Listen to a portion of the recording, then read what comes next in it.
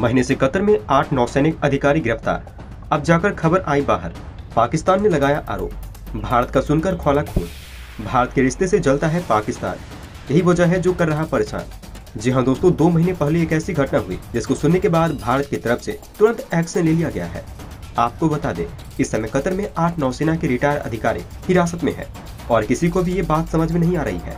आखिर ये पूर्व सैनिक अपने देश वापस क्यों नहीं लौट पा रहे हैं, और इसी के चलते अब इसे विदेश मंत्रालय की तरफ़ से गंभीरता से ले लिया गया है। दोस्तों, भारतीय पता लगाने की कोशिश में जुटा हुआ है कि आखिर इन आठ अधिकारियों को क्यों हिरासत में लिया गया है। लेकिन अभी इस पर कुछ पुष्टि निकल के सामने नहीं आई है। अभी बताया नहीं गया है कि इन अधिकारियों को क्यों हिरासत में रखा गया है। और इस चीज़ में बताया जा रहा है, पाकिस्तान का एक बहुत बड़ा षडयंत्र रचा हुआ है। तो चलिए जानते हैं पूरी बातों को डिटेल में और बढ़ते हैं वीडियो की तरफ़। लेकिन अगर आपने अब तक इस वीडियो को लाइक और शेयर नहीं किया है तो इस वीडियो को लाइक और शेयर करें, ताकि सब तक ये जानकारी पहुँच सके। दोस्तों, अगस्त के महीने में कतर की एक एजेंसी जिसे स्टेट सिक्योरिटी ब्यूरो भी कहते हैं, उसने भारतीय सेना के आठ नौसैनिक अधिकारियों को हिरासत में लिया है और इस घटना की जानकारी दोहा में भारतीय दूतावास को सितंबर के महीने में दी गई है और सितंबर के अंत में ही इन अधिकारियों को अपने घर बात करने की इजाज़त दी गई है। और पता ये भी चला है कि अक्टूबर महीने तक इन अधिकारियों से किसी को भी मिलने नहीं दिया गया है। और अक्टूबर के महीने में भारतीय दूतावास का आदमी इन अधिकारियों से मिल पाया है। और इसमें भी हैरान कर देने वाली बात यह है, यहाँ पर अब तक ये नहीं बताया गया है कि आखिर इन आठ अधिकारियों को क्यों पकड़ा गया है। दोस्तों, जानकारी के लिए बता दें, हिरासत में लिए गए ये लोग एक कंपनी में काम करते थे, जिनका नाम था Dehra Global Technology and Consultancy. और इसके बाद में मिलता है कि ये एक निजी कंपनी है और ओमान एयरफोर्स का एक अधिकारी इसका मालिक है। ये कंपनी कतर की नौसेना को ट्रेनिंग भी दिया करती थी। और जो कुछ भी हो रहा था, अब इनके सामने हो रहा है। लेकिन यहाँ पर सवाल बनता है कि आखिर क्यों इन आठ अधिकारियों को पकड़ लिया गया है? दोस्तों, अब ये मामला चल ही रहा था कि वहीं हमें देखने को मिला है कि पाकिस्तान की तरफ़ से अब इस मामले में बेसरमी दिखानी शुरू कर दी गई है। किसी को भी ये बात समझ नहीं आई है कि आखिर पाकिस्तान इस मामले में बीच में क्यों कूद रहा है? और हमें देखने को मिला है कि पाकिस्तान के मीडिया की तरफ़ से ये आरोप लगाया जा रहा है कि भारतीय नौसेना के ये पूर्व अधिकारी इसराइल के लिए जासूसी कर रहे थे। लेकिन इस बात की कोई पुष्टि नहीं है। दोस्तों, ये बात तो आप अच्छे से जानते होंगे कि खाड़ी के देशों के साथ भारत के काफ़ी अच्छे रिश्ते हैं और हमें देखने को मिलता है कि खाड़ी के देशों में कई भारतीय काम करने के लिए जाया करते हैं और हमें ये भी देखने को मिलता है कि वहाँ पर भारतीयों को काफ़ी इज़्ज़त की नज़र से देखा जाता है। इसके अलावा भारतीय नागरिक वहाँ कंपनियों में काफ़ी ऊँचे ऊँचे पदों पर बैठे हुए हैं और हमें ये भी देखने को मिलता है कि सैनिक संबंध भी हमारे और खाड़ी देशों के साथ काफ़ी अच्छे हैं। उनके सैनिक और हमारे सैनिक के बीच में युद्ध अभ्यास भी होता हुआ देखा गया है। दोस्तों, यही चीज़ें हमारे पड़ोसी देश पाकिस्तान को बिल्कुल भी नहीं पसंद आती है कि भारत के रिश्ते खाड़ी के देशों के साथ क्यों इतने ज़्यादा अच्छे हैं। और हमें देखने को मिलता रहता है कि मुस्लिम होने के कारण यहाँ पर खाड़ी देशों से पाकिस्तान अक्सर पैसा मांग लिया करते हैं। लेकिन इसके बावजूद भी खाड़ी के देश भारत को ज़्यादा तरजीह देते हैं। इसी के चलते जब भी पाकिस्तान को कोई भी मौका मिलता है, पाकिस्तान खाड़ी के देश में भारत के प्रति बुराई पैदा करने की कोशिश करता रहता है। भारत के खिलाफ दुष्प्रचार करता रहता है और भारत के जो खाड़ी के देशों के साथ इतने अच्छे रिश्ते बने हुए हैं, उनको खराब करने के लिए पाकिस्तान की तरफ़ से हर कदम उठाया जाता है। दोस्तों, कतर में आठ अधिकारी पकड़े गए हैं। इनको लेकर पाकिस्तान काफ़ी ज़्यादा उल्टी सीधी बातें फैला रहा है। हमें देखने को मिल रहा है कि पाकिस्तानी मीडिया की तरफ़ से और आईएसआई पर चलने वाली कुछ वेबसाइट के ज़रिए ये बात को फैलाया जा रहा है कि कतर में जो आठ भारतीय अधिकारी पकड़े गए हैं, वो कोई बहुत बड़ी साजिश रच रहे थे। पाकिस्तान इस खबर को बहुत बड़े नेटवर्क के पकड़े गए रूप में दिख रहा है। पाकिस्तान इस खबर को बहुत बड़े नेटवर्क में पकड़े गए के रूप में दिखा रहा है। इसकी तरफ़ से भारत ने भी साफ़ कर दिया है। भारत ने बताया है, हम कतर के लोगों के साथ लगातार बातचीत कर रहे हैं और इस मामले को हल करने की कोशिश कर रहे हैं।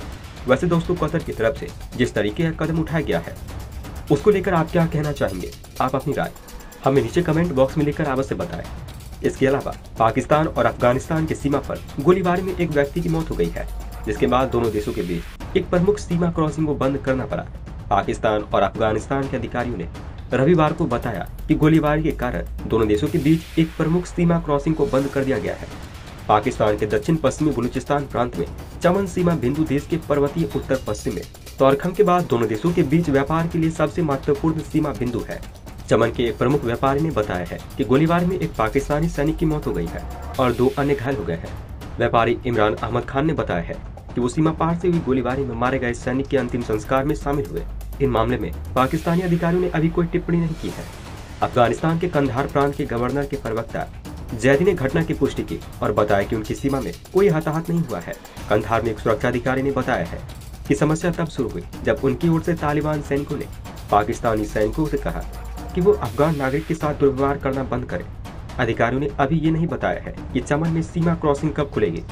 दोस्तों, वहीं यूक्रेन युद्ध शुरू होने से पहले यूक्रेन में इंटरनेशनल स्टूडेंट छिहत्तर हज़ार से ज़्यादा थे, जिसमें से बाईस हज़ार से ज़्यादा भारतीय थे।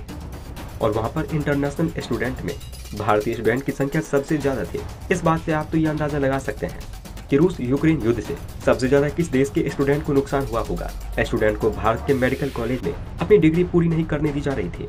इसलिए स्टूडेंट वापस यूक्रेन जाके अपनी डिग्री पूरा करना चाहते हैं। और कई स्टूडेंट तो अभी यूक्रेन में मौजूद भी हैं। ये इन स्टूडेंट के कैरियर ये उन स्टूडेंट के कैरियर का सवाल है। इसलिए वो कोई भी रिस्क उठाने के लिए तैयार है। उन्हें न युद्ध की परवाह है, न किसी और चीज़ की। उन्हें तो बस अपनी डिग्री से मतलब है, क्योंकि भारत के मेडिकल कॉलेज में इन्हें अपनी डिग्री पूरी नहीं करने दी जा रही है।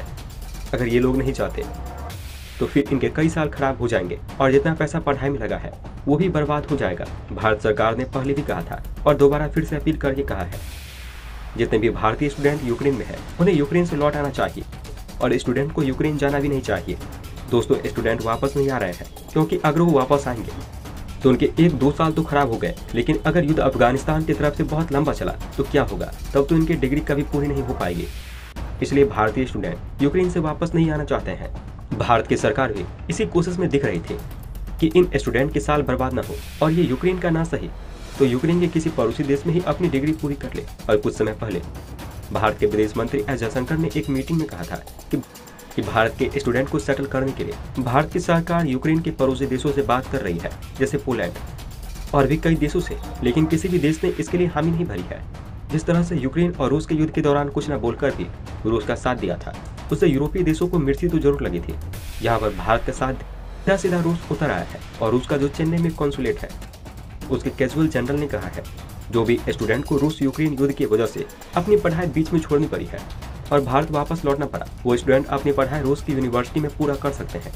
और उन्होंने कहा है, रूस और यूक्रेन में जो मेडिकल कोर्स है, उनका सिलेबस भी काफ़ी मिलता जुलता है। और यूक्रेन के मेडिकल कॉलेज में भी ज़्यादातर रूस नहीं बोली जाती है, इसलिए रूस में पढ़ाई में उन्हें भाषा से संबंधित कोई दिक्कत नहीं होगी। इस सब के बारे में बात करते हुए उन्होंने कहा है, भारतीय स्टूडेंट को रूस में डिग्री कंप्लीट करने में भी दिक्कत नहीं आएगी। और उसकी एम्बेसी के ऑफिसर ने कहा है कि जो लोग अपनी डिग्री रूस में पूरी करना चाहते हैं, उन्हें प्रीवियस ईयर की मार्कशीट और कुछ अन्य डॉक्यूमेंट रूस की एम्बेसी में देने होंगे। इसके बाद रशियन एम्बेसी इस डॉक्यूमेंट को यूनिवर्सिटी के साथ शेयर करेगी। और इसके बाद रशियन यूनिवर्सिटी स्टूडेंट को कॉन्टैक्ट करके उन्हें रसिया में पढ़ाई कैसे करना है, ये सब बताएगी।